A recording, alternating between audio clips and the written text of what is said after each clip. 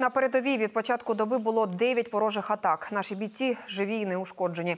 Найгарячіше біля Мар'їнки, Новомихайлівки, Пісків, Талаківки, Зайцевого і Луганського.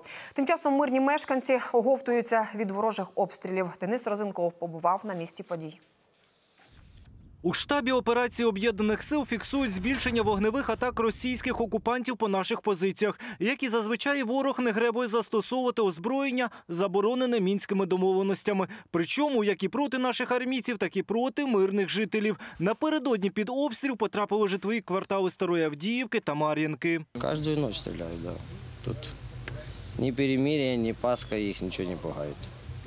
Це ж Так гріх, кажуть. Ну. Кому гріх, а кому і ні. Загалом за тиждень бойовики майже 80 разів обстріляли позиції українських збройних сил, унаслідок чого загинув один наш захисник. Ще п'ятеро поранено. Звичайно, ми готові до останнього тут стояти. Не, не сантиметра своєї рідної землі ми не віддамо Що від нас залежить, те ми і зробимо. Як розповідають українські військові, нині на передовій знову активізувалися снайперські підрозділи ворога. Традиційно такі групи діють під прикриттям вогню із мінометів або великокаліберних кулеметів. Когда вот работает стрелкотня, иногда слышно такой более громкий выстрел одиночный. Под шумиху работают они, то есть под минометы, под пулеметы, то есть чтобы им не слышно было, чтобы это снайпер работает.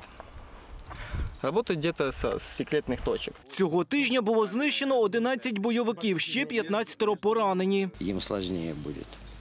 Тут у нас каждый кустик наш, каждое деревце наше. А они за что воюют?